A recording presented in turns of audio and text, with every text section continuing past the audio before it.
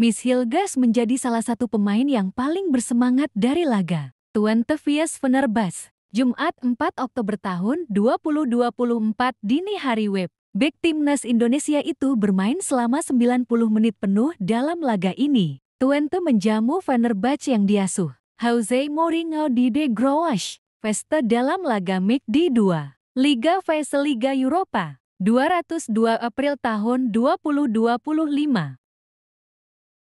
Twente mampu memimpin lebih dulu lewat aksi. Michelle Flap di menit ke-29, performa impresif Hilgers dan kawan-kawan. Di lini belakang membuat keunggulan tuan rumah bertahan hingga jeda turun minum. Memasuki babak kedua, Fenerbahce yang diasuh Jose Mourinho mampu bangkit dan akhirnya menyamakan kedudukan menjadi 1-1 berkat gol. Dusan Tadik di menit ke-71. Berkat hasil ini, Twente kembali meraih satu poin usai di McD. Sebelumnya menahan imbang. Manchester United 1-1. Di sisi lain, Fenerbahce masih belum terkalahkan dalam dua laga awal. Pada laga ini, Miss Hilgers dipercaya turun sejak awal oleh sang pelatih, Joseph Usting pada usia 23 tahun itu, berpasangan dengan Max Bruns di jantung pertahanan Twente. Menit ke-41, aksi impresif Hilgers memaksa Fred untuk melakukan pelanggaran.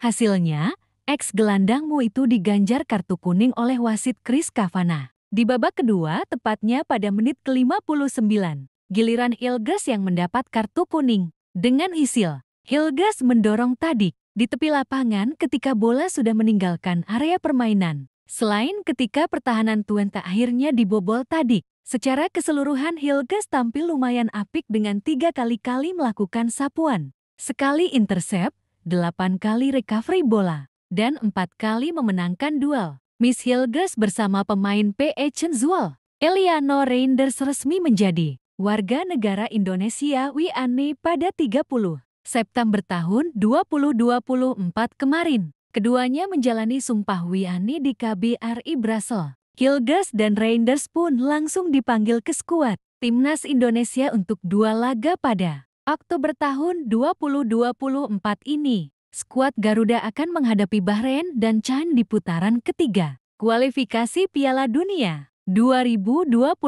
Zona Asia. Kini, Ketua Umum Ketum PSSI Erick Thohir membagikan kabar baik. Perpindahan Federasi Miss Hilgers dan Eliano Reinders di AFIFA telah selesai. Artinya, Hilgers dan Reinders resmi sudah bisa dimainkan dalam laga versus Bahrain. 10 Oktober serta China. 15 Oktober tahun 2024 mendatang. Pelatih FC Twente Joseph Usting memuji penampilan pemain timnas Indonesia, Miss Hilgers, dan kawan-kawan yang tampil baik di lini pertahanan saat mengimbangi Fenerbahce dengan skor 1-1 pada ajang Liga Eropa. Bermain di De Growash Feste pada Kamis malam atau Jumat dini hari web, Usting mengatakan, Twente bermain baik karena lini. Pertahanan timnya mampu menguasai bola dengan cepat. Ini adalah pertandingan yang sangat bagus bagi kami hari ini dalam segala aspek. Dalam pertahanan kami menguasai bola dengan cukup cepat,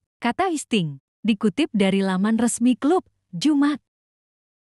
Dan dalam penguasaan bola kami menciptakan kelebihan beban di poros dan kami mampu menciptakan peluang dari permainan posisi, tambahnya.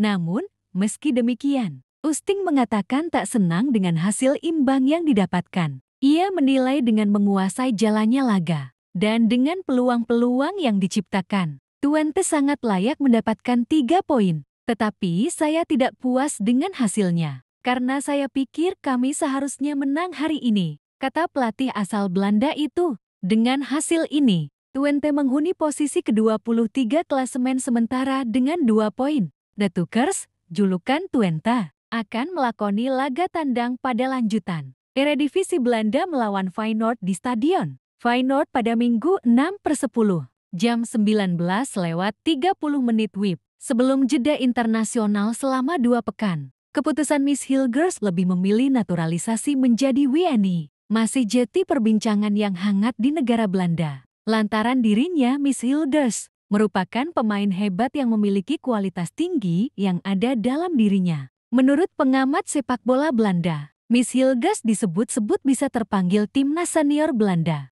jika dirinya bergabung dengan klub-klub besar dari wilayah Eropa seperti klub Ajax, Feyenoord, dan PSV. Hilgers bisa dipanggil oleh timnas senior Belanda jika dirinya sabar dalam menunggu kesempatan tersebut. Menurut pengamat sepak bola Belanda, namun keputusan Miss Hilgers adalah karena didasari oleh keputusan dirinya sendiri, yang memang ingin perkuat timnas Indonesia. Pada saat pertandingan klub Miss Hilgers FC Twente, yang bermain di Europa League EAL yang melakoni laga tandang, klub FC Twente berhadapan dengan Manchester United di kandang Old Trafford, di mana pada pertandingan tersebut, klub Maarten Paes mampu menyamakan kedudukan dari setan merahmu dengan skor imbang 1-1 di kandang Manchester United. Sehabis pertandingan tersebut, Miss Hilgers melihat bahwa ada pendukung dari Indonesia yang sedang menonton dirinya. Pendukung tersebut membawa bendera merah putih Indonesia. Dan Miss Hilgers yang melihat langsung menghampirinya. Dan Miss tidak lupa mengabdikan momen tersebut dengan mengambil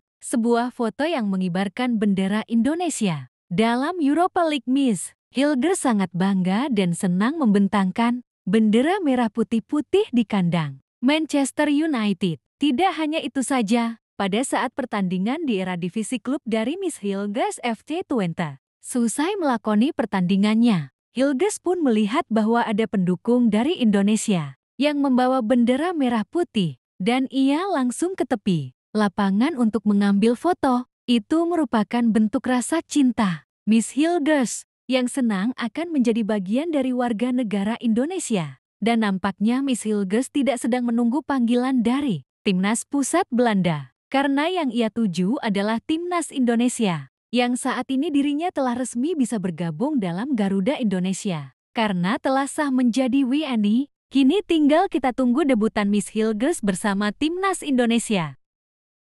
Bagaimana hitung-hitungan kemungkinan? Eliano Reinders dan Miss Hilgers batal bela timnas Indonesia karena laporan China. Jagat sepak bola tanah air dihebohkan dengan pernyataan media China 163.com yang menyebut naturalisasi dua pemain timnas Indonesia, Miss Hilgers dan Eliano Reinders, tidak sah. Dalam artikelnya, media China itu mengkritik keras proses naturalisasi Miss Hilgers dan Eliano. Reinders yang menurutnya tak sesuai prosedur. Adapun prosedur yang dimaksud media, China itu adalah tempat pengambilan sumpah. WNI yang dilakoni, Miss Hilgers dan Eliano Reinders